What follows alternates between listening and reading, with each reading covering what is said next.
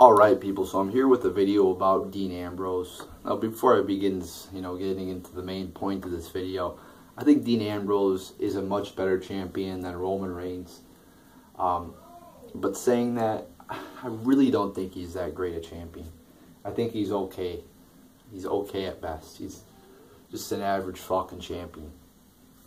So, and I think a lot of people like him why? Because he's from the independent scene. Oh, he wrestled at ROH or and New Japan Pro Wrestling or some other independent promotions. It's like everybody who comes from the indies is great. You know, it's I think people get that mindset a lot, or at least a lot of the internet wrestling community fans or more of the hardcore fans get that sense that oh, like Gallows and Anderson like I don't see anything special in those two, but I think a lot of people might like them because oh they were in New Japan Pro Wrestling for a while.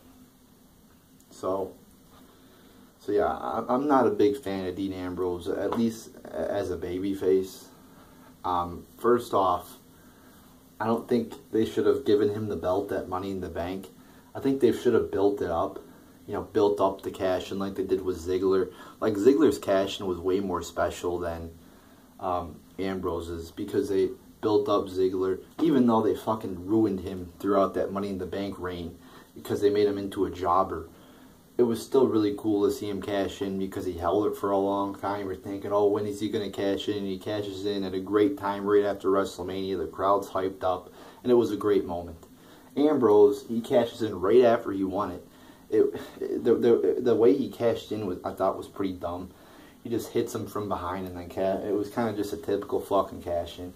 There was no um, no build up to the fucking cash in because it happened right after he won it.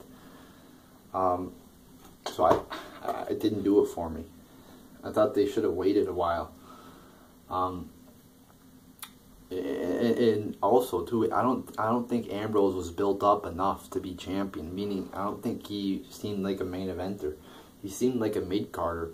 I mean, they haven't really done too much with. I mean, he's maybe in the upper mid card at best, but I mean, he hasn't really done too much to be branded off as a world champion, as your WWE champion. I mean, he's more of a world champion than She. Remember when they gave the belt to fucking Sheamus?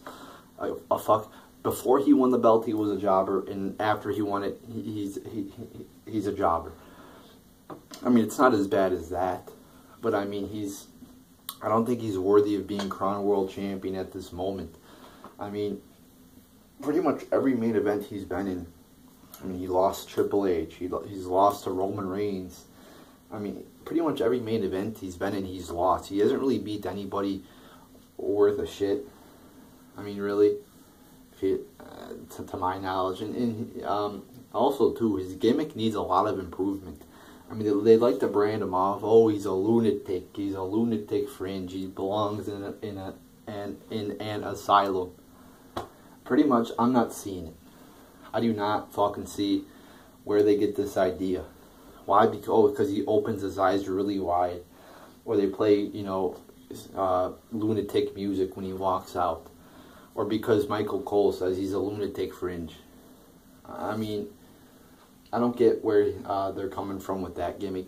He, he just doesn't seem like much of a lunatic to me. They have to do more to make him seem like a lunatic if they want to brand him off as, as this lunatic guy.